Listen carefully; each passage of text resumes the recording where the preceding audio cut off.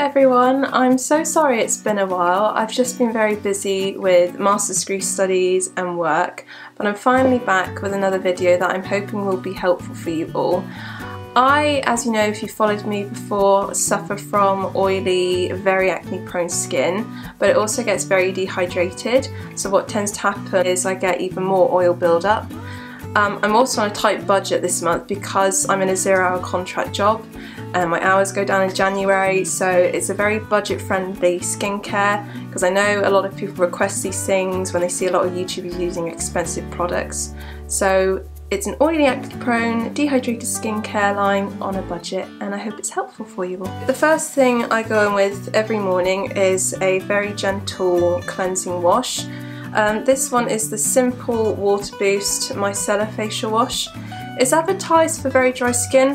I wouldn't use it for dry skin, I'd only use it if you had oily skin that's dehydrated. I do have quite sensitive skin as well, and this is formulated without any perfumes or chemicals or anything artificial. Again, if you're on a budget, it's very budget friendly, nothing artificial in there, so excellent if you've got very oily, dehydrated skin that just needs that gentle cleanse, but without making it so dry and damaged. A lot of cleansers aimed at oily skin they always are full of things like salicylic acid, which is great, but if you're using every day, that is just so stripping and so drying, and then your skin is going to overcompensate and make more oil, which means more acne. So this is perfect in the morning.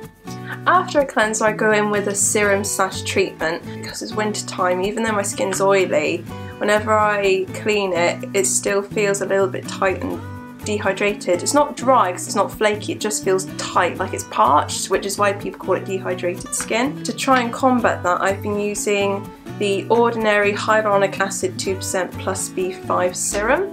I use half a pipette all over my face and I just gently swipe it in and pat it in.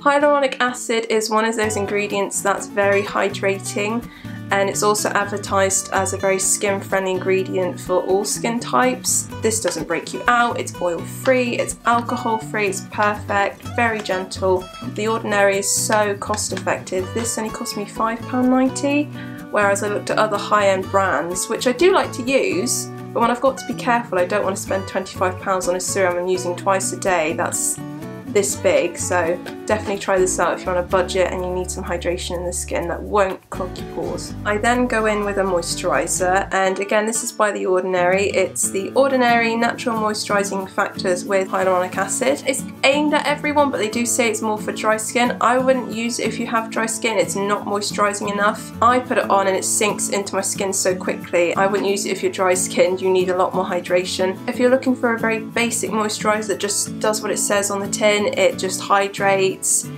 it keeps your skin feeling very supple, then use this. It's also alcohol free so it won't cause any skin allergies if you're sensitive and it's also oil free which is why I can use it. It's nothing fancy but it does the job and the brilliant thing as well, it's only £4.90 and it lasts a long time. A little goes a long way. I just use a pea size amount across all my face and that's enough. The last step in my skincare routine is an SPF. I've only been wearing SPF every single day since I went on Accutane, which I think was a couple of years ago. My dermatologist told me that I actually should wear sun cream every single day if I'm going outside because of UV rays being damaging to, uh, to the skin, um, which I never knew. I just thought if it was sunny I just need to wear it. It's scientifically proven to actually prevent aging. It's one of only two skincare ingredients you can claim actually does that, one being sun, sunscreen SPF, the other one being retinol, which I'll talk about in another video.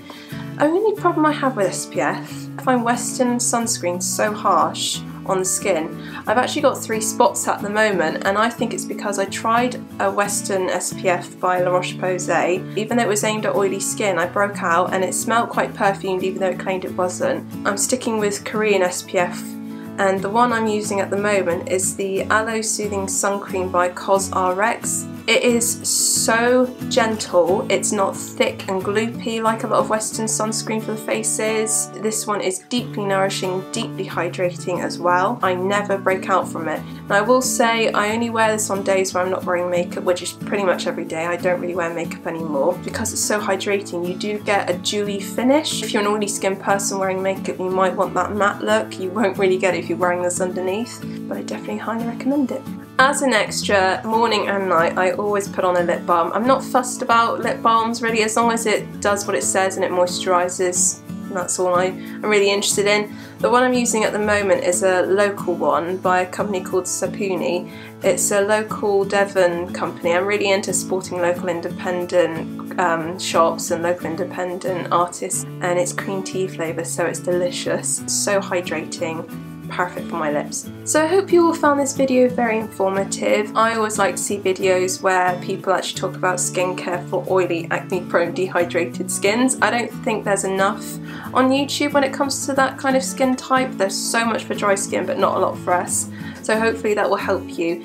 And it's actually very budget friendly as well, not enough of that on YouTube. I will link all the products I use in the description. If you use any of these, please do get in touch. Bye! The beach. Oh. oh. oh. Clever beach.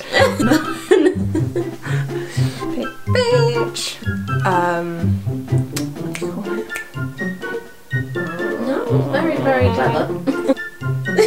it's just the way you're looking at me. Sorry. That's really creepy.